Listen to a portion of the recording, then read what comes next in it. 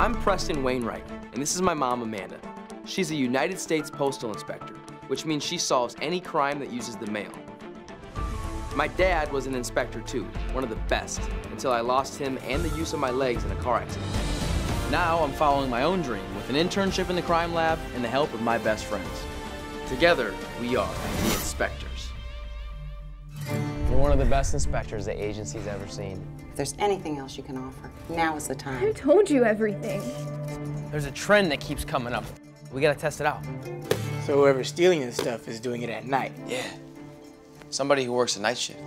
Come on, let's just keep looking. Quietly. I don't want to wake up my mom. We need you to come with us. You guys are cops. Wait up. You gotta remember I don't have wheels. Dude, it's not my fault you're out of shape. Keep up, slowpoke. Wait for it. Bingo. The surveillance stuff is stressful. It burns a lot of calories. It's incredible. How much does something like this cost on the street? I take your debit card, run this check through your account. I take four grand and leave two for you. It's that easy, huh? We're opposed to that, right? I'll see you guys tomorrow. Your buddy Preston here sent me a letter about a fake jersey. Here you go. And that's authentic. We can't just look for a criminal. They're gonna be looking for us. That's it. This could have turned into an ugly situation. You're not a postal inspector yet. I like yet. In your dreams, dude.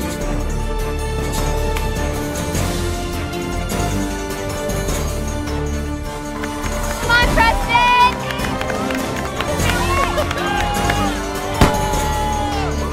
I'm gonna walk again, Mom. And then I'm gonna be an inspector.